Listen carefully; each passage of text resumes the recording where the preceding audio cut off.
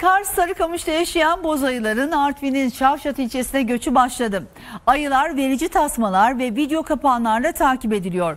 Daha iyi beslenmek için yola çıkan ayılar Kasım ayında Sarıkamış'a dönüp kış uykusuna yatacak. Beslenmek için göç ediyorlar. Kış uykusundan önce yağ depoluyorlar. Kars'ın Sarıkamış ilçesinde yaşamını sürdüren boz ayılar her yıl Temmuz ayında Artvin'in Şavşat ilçesine gidiyor. Ayıların takibini Kuzey Doğa Derneği yapıyor. 2013 yılından beri araştırmalar yürüttüğümüz e, boz ayıların e, göç ettiğini keşfetmiştik 2013 yılında ilk defa ve dünya literatürünü değiştirmiştik ve o günden bugüne boz ayılar Artvin yolunda gidip gelmeye devam ediyorlar orada daha iyi beslenmek için.